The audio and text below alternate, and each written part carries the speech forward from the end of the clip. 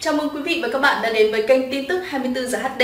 Chúc quý vị sẽ có một ngày làm việc hiệu quả và vui vẻ. Ngày hôm nay đã diễn ra những sự kiện gì? Tình hình an ninh trong nước và thế giới có gì đặc biệt? Mời quý vị và các bạn hãy cùng cập nhật với chúng tôi qua phần điểm tin chính ngay sau đây. Công an thành phố Hồ Chí Minh bắt luật sư Trần Văn Sĩ. Bắt thêm một loạt lãnh đạo cán bộ trung tâm đăng kiểm. Không ai được đứng cao hơn pháp luật. Khi những bệnh viện hàng đầu quốc gia sắp đóng cửa. Công an thành phố Hồ Chí Minh bắt luật sư Trần Văn Sĩ. Thưa quý vị và các bạn, luật sư Trần Văn Sĩ vừa bị cơ quan cảnh sát điều tra công an thành phố Hồ Chí Minh bắt tạm giam để điều tra tội lợi dụng các quyền tự do dân chủ, xâm phạm lợi ích của nhà nước, quyền và lợi ích hợp pháp của tổ chức cá nhân theo điều 331 Bộ luật hình sự. Cơ quan cảnh sát công an điều tra công an thành phố Hồ Chí Minh đã tống đạt quyết định khởi tố bị can và thi hành lệnh bắt bị can để tạm giam đối với ông Trần Văn Sĩ, 66 tuổi, ngụ tỉnh Vĩnh Long, luật sư để điều tra về tội lợi dụng các quyền tự do dân chủ, xâm phạm lợi ích của nhà nước, quyền và lợi ích hợp pháp của tổ chức cá nhân theo điều 331 Bộ luật hình sự. Các quyết định lệnh trên được Viện Kiểm sát nhân dân thành phố Hồ Chí Minh phê chuẩn. Theo một nguồn tin, ông Sĩ bị cơ quan cảnh sát điều tra công an thành phố Hồ Chí Minh bắt khi đang ở trong một căn hộ chung cư tại tỉnh Khánh Hòa và được lực lượng chức năng di lý về thành phố Hồ Chí Minh. Ông Trần Văn Sĩ nguyên là chủ nhiệm đoàn luật sư tỉnh Vĩnh Long. Năm 2008, ông Sĩ bị xóa tên khỏi danh sách đoàn luật sư tỉnh Vĩnh Long. Tuy nhiên, Ủy ban nhân dân tỉnh Vĩnh Long lại ra quyết định đình chỉ quyết định nói trên.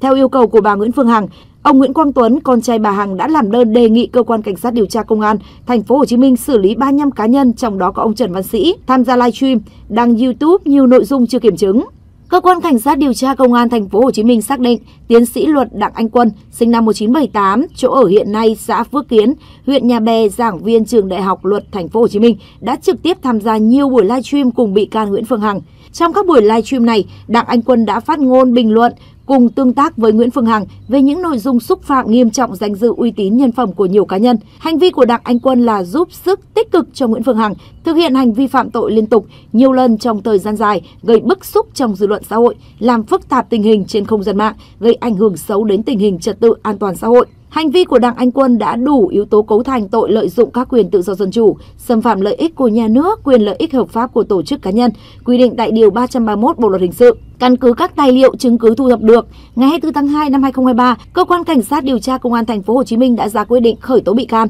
lệnh bắt bị can để tạm giam. Phòng Cảnh sát hình sự Công an thành phố Hồ Chí Minh cũng đã ra quyết định khởi tố vụ án, khởi tố bị can, lệnh bắt bị can để tạm giam, lệnh khám xét đối với bà Đặng Thị Hàn Ni sinh năm 1977, luật sư nhà báo chỗ ở hiện nay phường Tân Thuận Đông, quận 7 thành phố Hồ Chí Minh về các tội lợi dụng các quyền tự do dân chủ, xâm phạm lợi ích của nhà nước, quyền lợi ích hợp pháp của tổ chức cá nhân, quy định tại điều 331 Bộ luật hình sự. Trước đó, phòng cảnh sát hình sự công an thành phố Hồ Chí Minh tiếp nhận thụ lý xác minh tố giác của ông Huỳnh Uy Dũng và bà Nguyễn Phương Hằng tố cáo bà Đặng Thị Hàn Ni và ông Trần Văn Sĩ đã đăng tải các đoạn ghi hình với nội dung xúc phạm danh dự, nhân phẩm của ông Huỳnh Uy Dũng, bà Nguyễn Phương Hằng xâm phạm lợi ích hợp pháp của công ty cổ phần Đại Nam và quỹ từ thiện Hằng Hữu. Quá trình điều tra xác minh, cơ quan công an xác định Đặng Thị Hàn Ni và Trần Văn Sĩ đã cố ý đăng tải nhiều đoạn ghi hình trên kênh YouTube với các nội dung chưa được kiểm chứng, những thông tin thuộc bí mật cá nhân, bí mật gia đình và đời sống riêng tư. Các nội dung đăng tải trên đã thu hút hàng trăm nghìn lượt xem và bình luận, gây ảnh hưởng xấu đến an ninh trật tự, gây hoang mang trong nhân dân xâm phạm quyền cơ bản của công dân. Cơ quan điều tra cũng đã thi hành lệnh khám xét nơi ở của bị can Đặng Anh Quân và bị can Đặng Thị Hàn Ni, Trần Văn Sĩ thu giữ các tài liệu liên quan phục vụ công tác điều tra. Không ai được đứng cao hơn pháp luật. Thưa quý vị và các bạn, tin luật sư nhà báo Đặng Thị Hàn Ni bị khởi tố tội lợi dụng các quyền tự do dân chủ, xâm phạm lợi ích của nhà nước, tổ chức cá nhân. Điều 331 và bị bắt tạm giam ngày 24 tháng 2 đã làm mạng xã hội dậy sóng. Nhiều người bất ngờ vì không nghĩ rằng bà Hàn Ni phạm pháp. Ngay trong chiều 24 tháng 2, Google Trend Việt Nam ghi nhận các từ khóa liên quan đến Hàn Ni tăng đột biến. Thật ra tên của nữ nhà báo luật sư này khá nổi tiếng.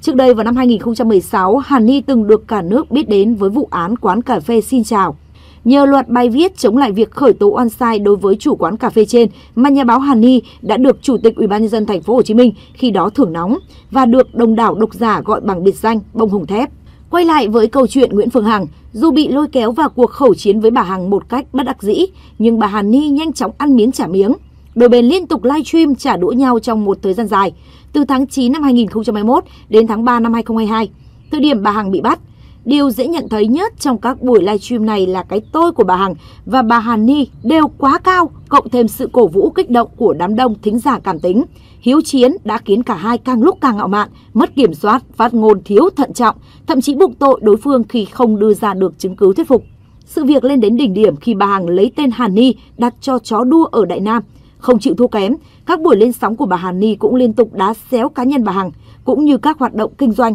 hoạt động từ thiện liên quan đến bà Hằng. Thậm chí ngay khi bà Hằng đã bị tạm giam, bà Hàn Ni vẫn thể hiện quyết tâm theo đến cung vụ việc khi tiếp tục đăng những dòng trạng thái đề cập đến vụ án của bà Hằng và các tình huống pháp lý mới. Được biết cùng nhận được quy định khởi tố với tội danh 331 như bà Hàn Ni. Trong ngày 24 tháng 2, còn có tiến sĩ luật Đặng Anh Quân, một khách mời quen mặt của bà Hằng đã khiến dư luận bức xúc với nhiều phát ngôn xúc phạm nặng nề đến các cá nhân như ca sĩ Vi Oanh, ca sĩ Phi Nhung, ca sĩ Thủy Tiên. Lần này dư luận lại được dịp chiêm ngưỡng chân lý. Không ai được đứng cao hơn pháp luật, dù có là một bà doanh nhân giàu có, một nhà báo kiêm luật sư nổi tiếng hay một ông tiến sĩ luật, hệ vi phạm pháp luật thì đương nhiên phải trả tay vào còng. Mạng xã hội là ảo, nhưng đi tù là thật. Câu chuyện xem ra vẫn còn nhiều diễn biến gây cấn trong thời gian tới.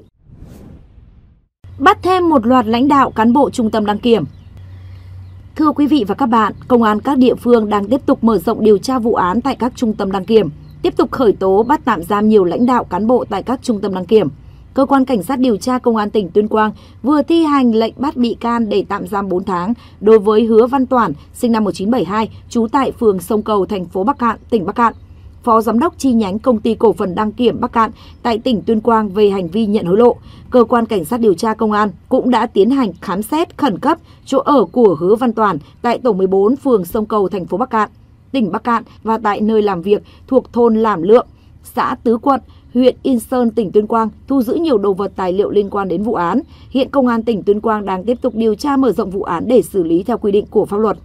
Tại tỉnh Hưng Yên, cơ quan cảnh sát điều tra công an tỉnh Hưng Yên đã ra quyết định khởi tố vụ án giả mạo trong công tác và nhận hối lộ, ra lệnh bắt bị can để tạm giam, tiến hành khám xét tại trung tâm đăng kiểm xe cơ giới Hưng Yên 8902S có địa chỉ tại xã Bảo Khê, thành phố Hưng Yên, tỉnh Hưng Yên. Trung tâm đăng kiểm xe cơ giới 8905D có địa chỉ tại thị trấn Yên Mỹ, huyện Yên Mỹ, tỉnh Hưng Yên và nơi ở đối với 7 bị can. 7 bị can bị tạm giam gồm Nguyễn Thanh Sơn sinh năm 1982, trú tại quận Cầu Giấy, thành phố Hà Nội, nguyên là phó giám đốc đăng kiểm viên bậc cao của Trung tâm đăng kiểm 8902S, hiện là giám đốc Trung tâm đăng kiểm 8905D từ tháng 10 năm 2020 đến nay.